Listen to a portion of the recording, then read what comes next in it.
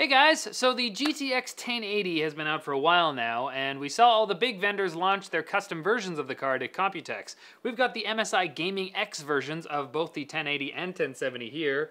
I actually don't know which one is which right now because they're identical.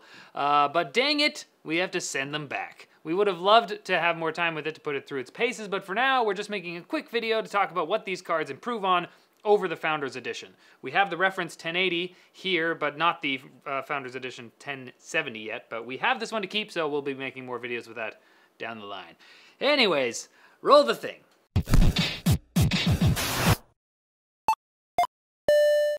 So for those of you who don't know, the Founders Edition is simply what NVIDIA is calling their reference cards now, and they charge 100 bucks more for them than the regular MSRP. That said, MSI has their own hierarchy of cards. This is the Gaming X, but they'll also have the regular gaming card, no X, which will be missing some of the flashier features of this card, and they'll also have the Gaming Z card, which will be pretty similar to the X, but with higher clocks. And I'm pretty sure they have a bunch of other versions of the uh, 1080 as well, with Aero is pretty much the Founders Edition, the same thing, so anyways. So let's take a look at the card itself. MSI's Twin Frozr 6 cooler design remains pretty similar to their previous Twin Frozr 5 cards, like this GTX 970 shown for comparison, with some minor aesthetic tweaks to make it even more gaming-y. There's an LED MSI logo on the top that's actually RGB, so you can customize its color, and all these little uh, lightning bolt looking doohickeys on the side also light up uh, as in, in red. It uses the Torx Fan 2.0, which looks pretty much the same as the Torx Fan on the 970, but apparently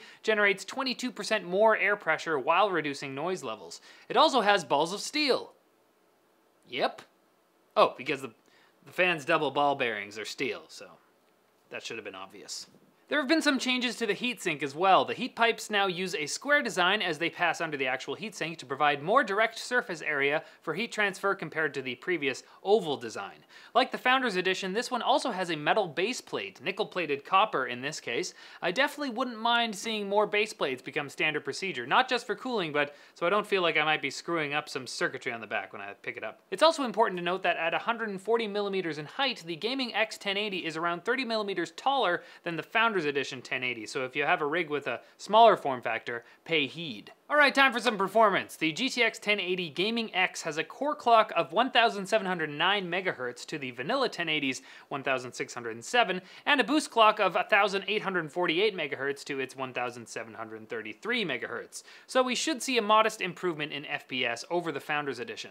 As I said, we had very limited time with this card, so I just ran it through Unigine Valley and Heaven against the Founders Edition 1080 and the top tier card from the 900 series, the Titan X. And yeah, the 980 Ti beats the Titan X in some overclock scenarios, but they're pretty close in benchmarks. In Valley, we used the Extreme HD preset at 1080p, and in Heaven, we used the Ultra settings with Extreme Tessellation at 4K. As you can see, both of the 1080s and the 1070 beat the Titan X every time, with MSI's Gaming X 1080 pulling ahead of the Founders Edition in both cases. Now, while the Gaming X is clocked higher, it also has an additional 6-pin power connector, which the Founders Edition does not. This, combined with the Twin Frozr cooler, will give you a bit more overclocking ability if you do want to do that. Speaking of which, we were able to give our Founders Edition 1080 to a friend of NCIXPC, a wizard in the overclocking arts, if you will, and he was able to overclock dual 1080s using a phase change cooler. On the Extreme HD preset in Unigine Valley at 1080p, which is why I also tested the MSI 1080 at that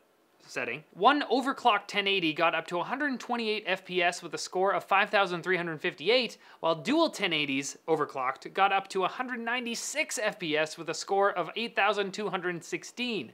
Whoo doggy! So that gives you an idea of just how much extra juice can be squeezed out of the 1080, although this is definitely an extreme example. But the extra overclocking headroom that MSI's custom cooler affords will definitely help in that regard, if you want to overclock. Well, that's it for this video, guys. Thanks for watching. You can click here to watch more videos, follow us on social media over here, and don't forget to like and subscribe for more videos like this from NCIX. Now, I gotta pack this guy out. Been good, buddy, but I gotta put you back in your box. No, it's okay. You feel no pain.